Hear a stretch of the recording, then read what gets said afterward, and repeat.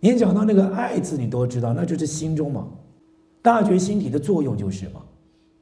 不要讲到说你感到后面的所有一切众生在感情上面的纠缠那个爱啊，或者不管是对人对事对物那个感情的纠缠牵绊为爱，你知道不？这种纠缠牵绊是从哪里来的？就是被觉才会起成这种的嘛？起先决心呢是什么？为什么会起在这种作用？决心的本来那个爱，它是具体成就它，具体成就它时，就好像镜子现色时，整个镜体就成就是镜色；具体成就时，就好像有自信向它去扑去而已，就整个身心投入于它，这是决心中本来的一种作用。但是因为它毕竟是觉嘛，所以决心具体成就于感觉时。他还没离开觉啊，只不过相状变了，坐相变了，但事实上就是觉啊。可就在这个坐相变，事实上都是觉上面，你不认觉了，你就被这个相妄想的现象迷惑了。在迷惑以后，忘记觉体了，然后觉体它这它的作用里面就有觉体做它的这种好事的最初的那种染爱染。那种染着，那种具体都变成它那种染着，就在这个染着的习惯性中，你在任何感受里面，于人、于事、于物，你都说牵绊了。那后面的牵绊是来自于你过去你根本背离觉体啊。所以后面的牵绊，你再说业力生成呐，在佛门中来看，那都叫小事啊。你不认觉体，才叫大事啊。为什么叫小事？业力虚妄故。罪从心起，将心颤呢？心若亡时，罪亦亡。心若怎么亡？你明白那个爱跟染呢？其实就是你的根本觉体的作用。爱染都是如此。那取呢？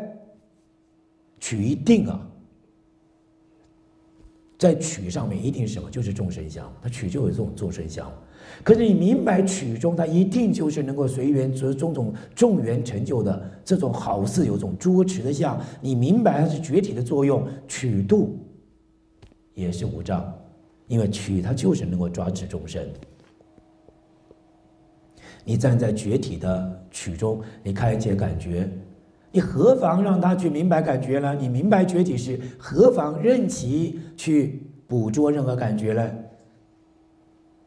因为觉体的捕捉，也就根本就无动无作嘛，就是觉从觉入觉。那从觉入觉中，以觉现觉根本就是觉，所以它没有动过。但是以觉现觉这个不动之中，仿佛过过程之中就有种种爱取有，不是吗？可你忘记觉爱取有就是流转的，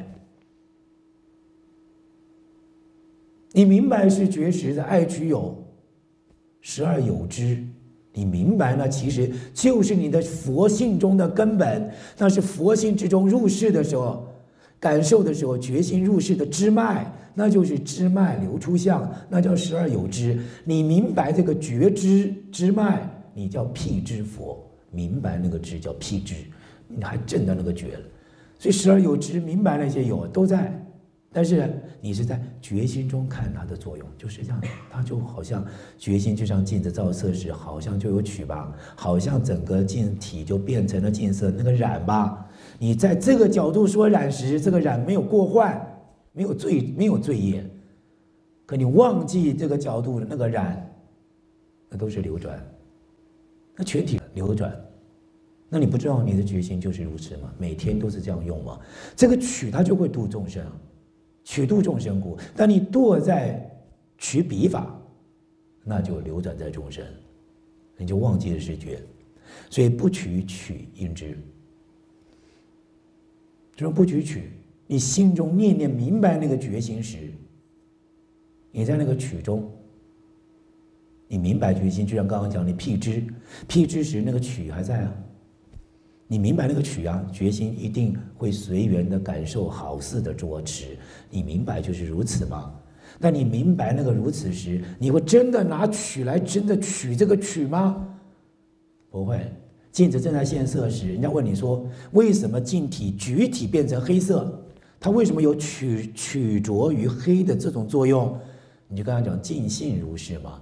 尽心如是，你不知道那个曲吗？知道，知道那个曲时，你会堕在那个曲中吗？不会。为什么？因为你明白，法而如是，尽心如是。